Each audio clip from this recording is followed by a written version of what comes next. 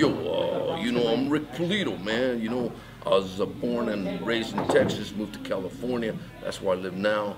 Moved to Southern California, Sacramento. I've been there about 20 years, you know. I don't know why I talk like I'm from New York, you know, because I'm really from Texas, you know. Hey, you know, I think it happened like in the third grade. It's, I mean, it's been funny all my life, but in the third grade, it's like I noticed I had an audience, you know, because um, what happened is our regular teacher was sick, so we had like this prostitute teacher, right? And uh, see, because I always mispronounce words, you know, and, and so I would talk what I thought was normal, but people would laugh. So all my life, I would just talk and people laugh, all my life. And when I was a kid, I used to have an act. I didn't even know it, because in Mexican culture, when you have dinner, it's like all these people, right? So you have after dinner, everybody be sitting in the perimeter of the living room, and I'd be in the middle, and I'd start doing all this stuff. And now I realize I had an act. You know, I did this thing. You know, I've been doing this so long, it doesn't matter what the crowd is. I'm gonna turn them over. I'm gonna, I'm gonna make them laugh. But on a, a, drunk crowd, all you do is what I call hoorah stuff. You just say whatever. It, it doesn't have to be clever. You just do stupid stuff. Then everybody hits the laugh track. Yeah, or you do dick jokes or whatever, and, and they'll laugh.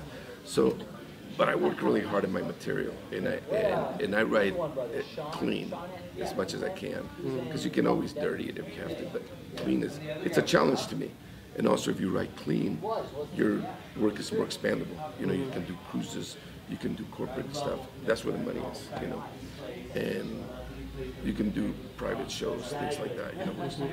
So I like a crowd that pays attention because then I can do the material that when you hear it, you go, ah, that's funny, that's clever, you know. If you're born a comedian, you can't help it. It's gonna come out. It's gonna come out at home. It's gonna come out at school. Everybody knows that you're the funny guy. They don't call you a comedian. You just wherever you are, people just laugh.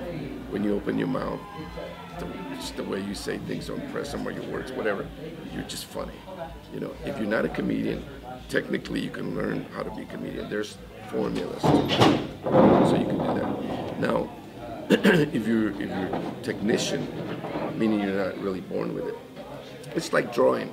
Even though you're talented to draw, you still have to go to school, right, to, to learn your craft and to and, and, and to hone it. And nothing better than experience doing it. So the best way is stage time, stage. Stage time, stage time, stage time. That the more you're on stage, the more you get, the better you get. You know, you can.